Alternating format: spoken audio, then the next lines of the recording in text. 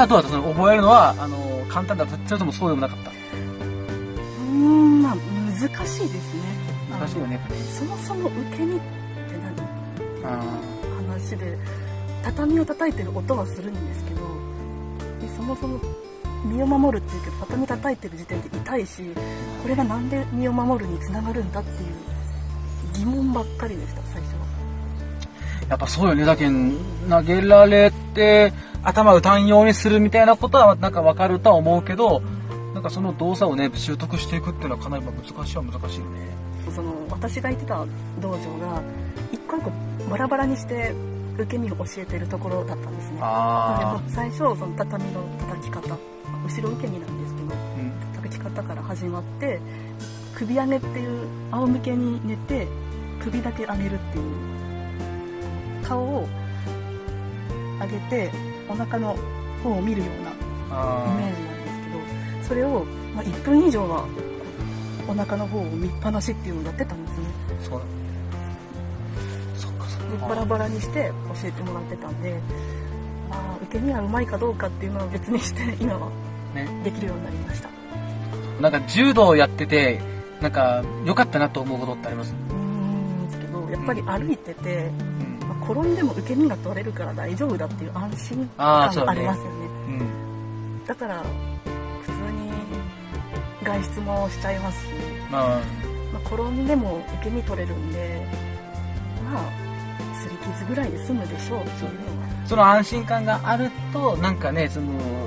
チャレンジできるっていうのなんかあるよね。だけそうそうそう。柔道ほら、あの、ただ勝ち負けだけじゃなくて、その柔道と習ったことを、まあその日常生活を生かしていくとか、社会を良くするために生かしていく、みたいなことが、まあ本来はね、その目的であったりするけん、なんかその辺は、今、土屋さんの話聞いてると、なんか、あそうだなっていうふうに俺もちょっと納得した感じだけどね。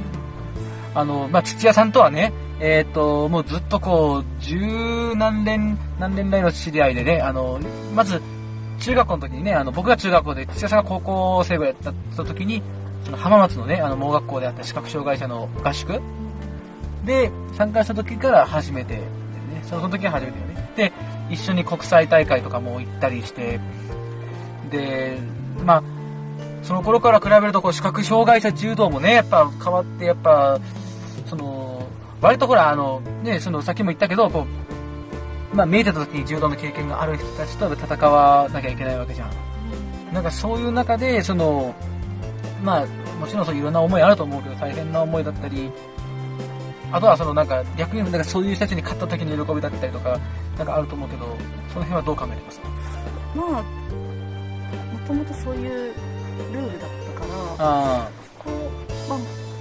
あんまり考えてなくて、まあ、組んじゃえば一緒かなって思って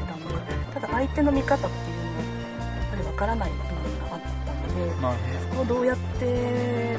克服しようかなって考えてたんですねずっと。ああなるほど。で2016年に埼玉の柔道場に行ったんですよ、うん、盲人は相手が見えない。今あえて盲人って言いましたけど、うん、あの全く見えない選手っていうのは本当にあの見えてる選手よりも不利な部分っていうのがあるのでやっぱり組み方もそうですし動き技一つにとっても少し形が変わってくるっていうのをそこで教えてもらいましたね。なるほどね。なんかそういうこう見えないね、その選手ならではの組み方だったり、こう駆け引きだったり、なんかそういうことをやっぱマスター、やっぱなかなしていかないと、まあ、なかなか見える人にやっぱ勝てないよっていうことを教えてもらったね。そうです、ね。ああ、そっかそっか。ああ、なるほどね。で、まあそんな中で、その、ね、この東京パラリンピックも、ね、出場されて、で、またあの、ね、試合が控えてんだよね。そうですね。まあ、あの、5月の8日のちょうど母の日なんですけど、試合が。お、母の日ね。はい。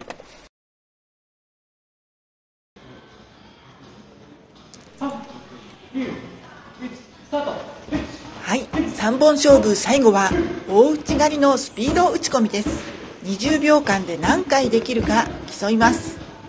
1本目バービーは土屋選手。2本目腹筋は大山選手の勝利でした。3本目まずは土屋選手のスピード打ち込みです。はい。27回です。次は大山選手。気合が入っております。大山選手かなり速いですね。こちら土屋選手との体重差があります。大きな体の大山選手の打ち込みを受ける土屋選手大変だと思います。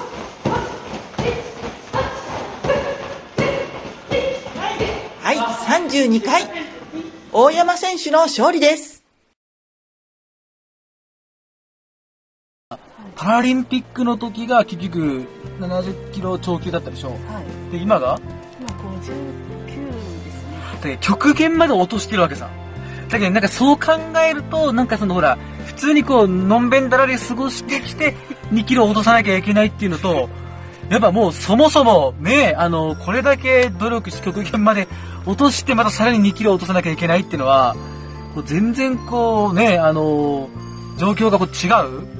と思うんですよねやっぱいいじゃないですか、ね、あのあの大丈夫なの？大丈夫ですよ。全然、体壊さない目の前であの、うん、美味しいもの食べてもいいですし全然。あそっか。そこが見えないからね。あのあの、ね、全然あの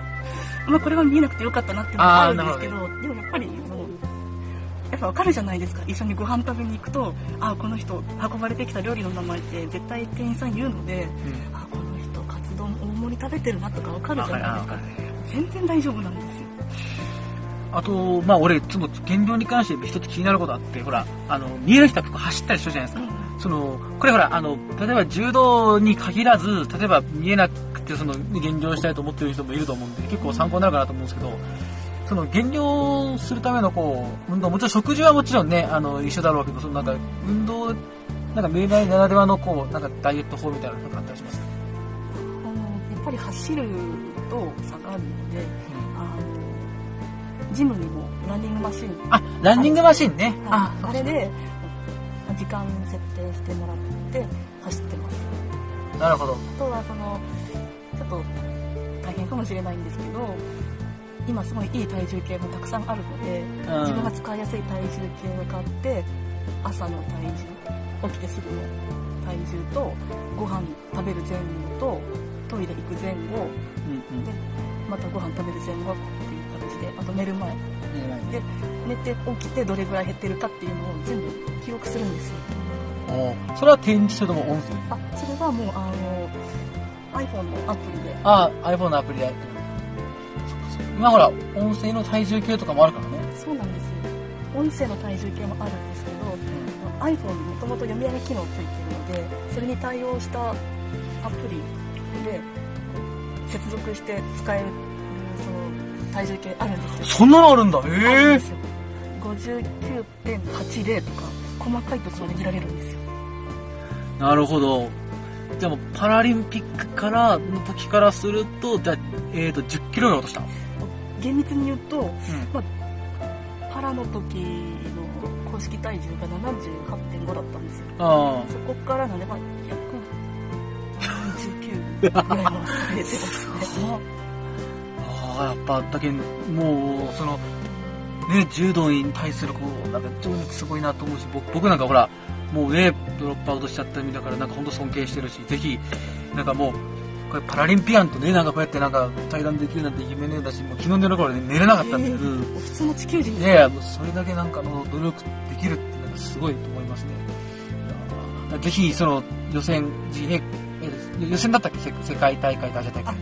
予選です。予選かぜひ、その大会ね、勝ってもらって、ぜひね、世界大会、アジア大会行ってほしいなっていうふうに思いますね。ありがとうございます。じゃあ、まあ、そうね、最後にじゃあ、と、これ、これで得意技？これという得意技、うん、払い腰です。払い腰。その払い腰で、ぜひ、世界大会の切符を掴んでください。はい、頑張ります。では、決意表明をどうぞ。無茶ぶりすぎじゃないですか。絶対活動でもいいよ。えー、5月8日の試合は母の日なんで母もごめんなさいね。ちょっとこれあの NG 集に取っといてください。あの5月8日の試合は感謝の心を持って試合に臨みますのでどうか応援よろしくお願いします